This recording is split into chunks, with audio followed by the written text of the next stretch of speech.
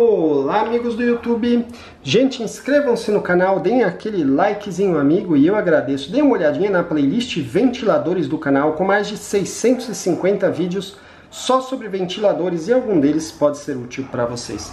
E aí gente, comprei uma torneira elétrica, comprei, eu não comprei, tô dizendo, né, você falando, comprei uma torneira elétrica e agora? O aquecedor eu comprei realmente. Comprei um aquecedor e agora como é que vai ficar minha conta?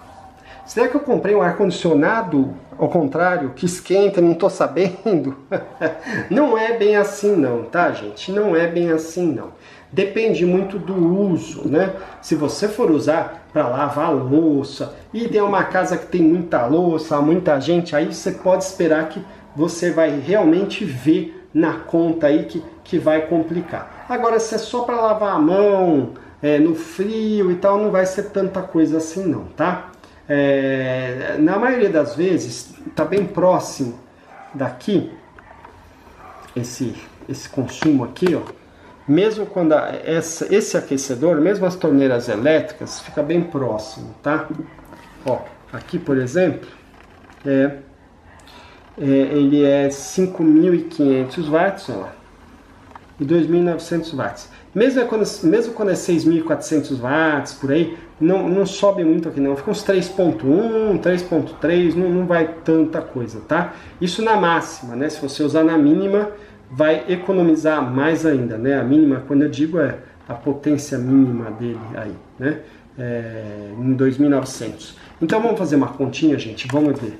Vamos dizer que isso aí a pessoa se confunde e fala, mas eu vou gastar 2,8 kW por dia. Não, não é, gente, é mensal. Olha lá, tá escrito mensal 2,8 kW, tá?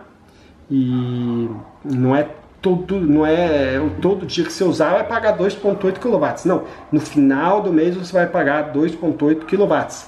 Mas aí que tá com a utilização de um minuto, olha lá, um minuto só por minuto realmente. Tem gente que acha que é por hora, tem gente que acha que é por hora. Fala, não, eu vou usar uma hora, vou gastar 2,8 kW só. Todo dia eu vou usar uma hora. Não. Aí tem gente que acha que é o contrário, que vai gastar todo dia 2,8. Não, gente, nem tanto, nem 8, nem 80, entendeu? É, um minutinho só, se você usar todo dia, um minutinho vai vir 2.8 se tiver na potência máxima. Se tiver na mínima, que ele fica morninho, não esquenta, vai vir 1.5 kW. Só no final do mês, gente, só no final do mês. Você usando 30 dias, um minuto todo dia vai vir 1.5 kW. O pessoal se confunde muito com isso. Acha que é todo dia. Não, todo dia vai ter 1.5 kW. Não, é, é, muito menos que isso, tá? Vamos fazer a conta? Vamos dividir? Quanto que vai vir por dia realmente? Ó? Vamos fazer a conta aí, gente. Espera aí. Vamos lá. 1.5 kW dividido por 30. 0,05 kW. Não é nem meio quilowatt, é menos do que isso.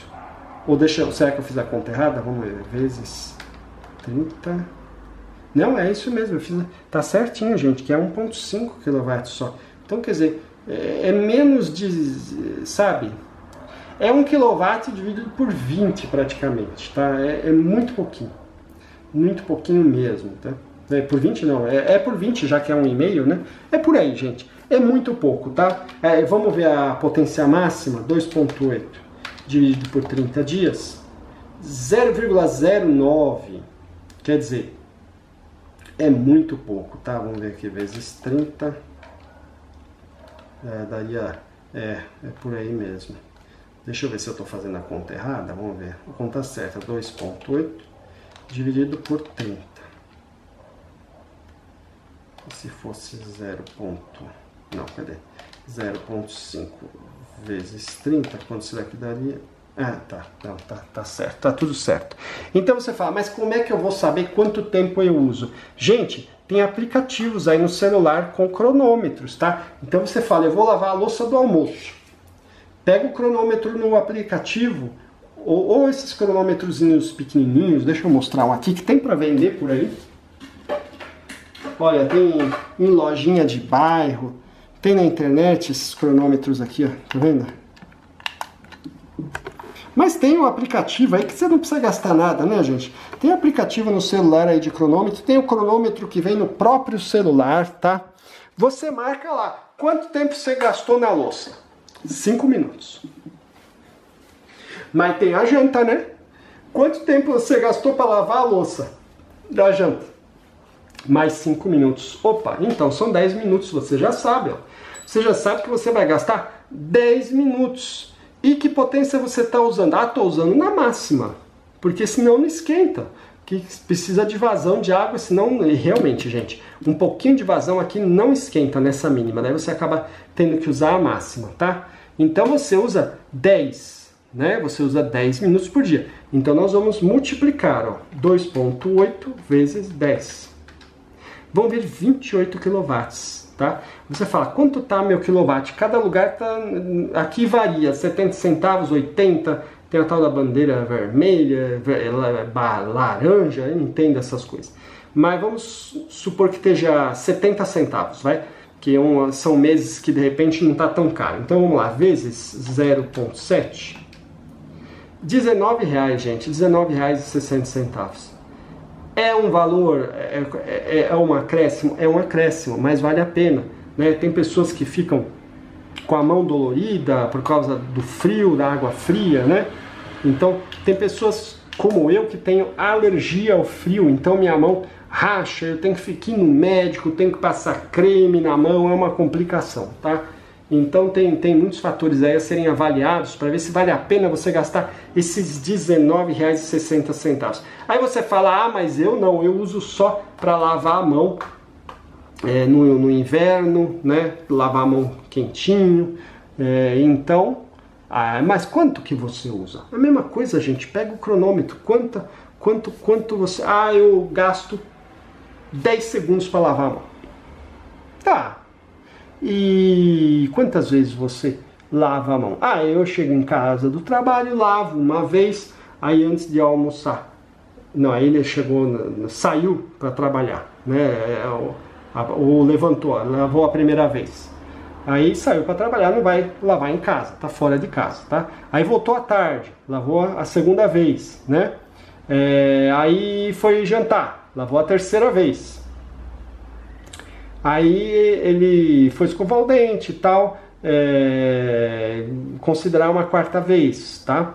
Aí é, comeu alguma coisa, comeu alguma coisinha não, viu uma televisão, alguma coisa e resolveu lavar a mão mais uma vez, cinco vezes.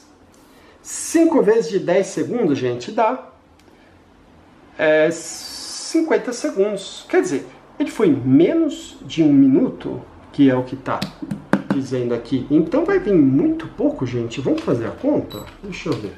Então são 1.5 dividido...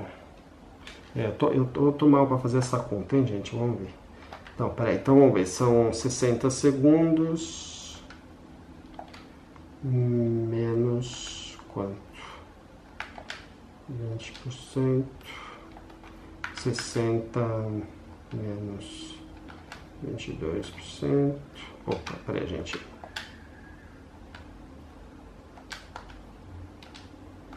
Peraí, eu tô quase lá. menos 17%. Bom, é, vai ficar aproximado, tá, gente? Então vamos lá. Então é 1,5 menos 17%. Ou seja, ele vai gastar só 1,25 kW aí aproximadamente. Então, vamos lá, 1,25 kW vezes 0,70. 87 centavos só, gente. 87 centavos, um real praticamente.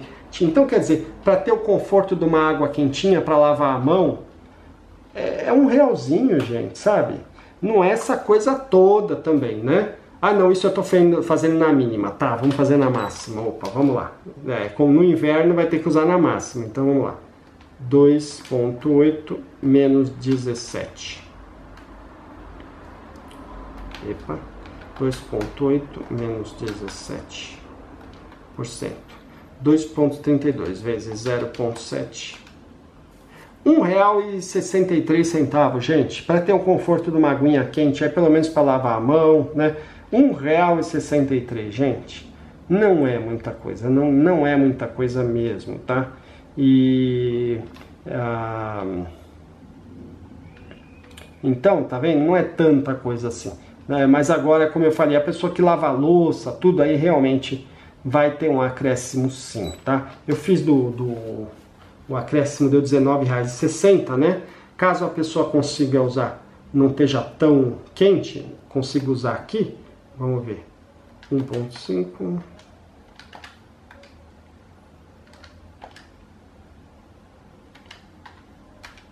Aí sai R$10,50, cai bastante aí, né? Se, se a pessoa conseguir usar uma água morninha, assim, né? Sem estar muito quente. Mas então é isso, gente, não é uma coisa tão terrível assim, depende muito do seu uso, né?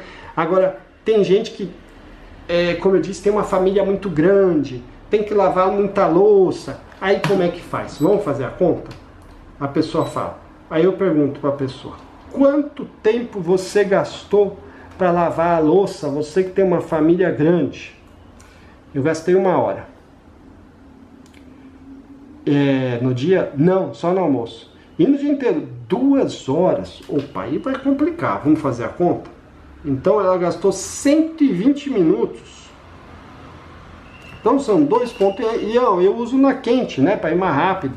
Para ter pressão, senão tem que ficar só gotejando a água pra, na, na morninha aqui, né? Então aí é 2,8 vezes 120. Aí vai complicar, gente. 336 kW vezes 0,70 do quilowatt 235 reais. Aí realmente complica, né, gente? Aí complica, entendeu? É, o uso demais também complica, então tudo tem a ver com o uso. Mas como eu disse, só para lavar a mão, assim tal, sabe? Aí, aí realmente não, não, vai, não vai ter grandes acréscimos, você nem, nem vai perceber, né? Para lavar a louça já vai dar uma percebida, mas pode ser que vale a pena, né? É... Ó, quem tem curiosidade aqui das características do, do aquecedorzinho de, de 110 volts ou 127, olha, realmente muda tudo, olha. Olha o fio dele como tem que ser mais grosso, olha, 10 milímetros, muda tudo, 50 amperes, tá? Muda tudo mesmo, viu gente? E ainda é ineficiente, né? Porque além da categoria D, ele, ele não, não esquenta tanto quanto o outro e gasta quase a mesma coisa, né? Então, mas então é isso aí, amigos. Deem aquele likezinho amigo para ajudar o canal. Eu espero que o vídeo seja útil, né? É... Depois de... Depois de inscritos, não, gente, me perdi. Deem aquele likezinho, amigo, para ajudar o canal. Inscrevam-se no canal. Agora sim, depois de inscritos, você clica no sininho ao lado do ventiladores para receber novos vídeos. Compartilhe o vídeo nas redes sociais e eu agradeço. Dê uma olhadinha na playlist Ventiladores do canal, com mais de 650 vídeos só sobre ventiladores e algum deles pode ser útil para você. É isso aí, amigos, e até mais.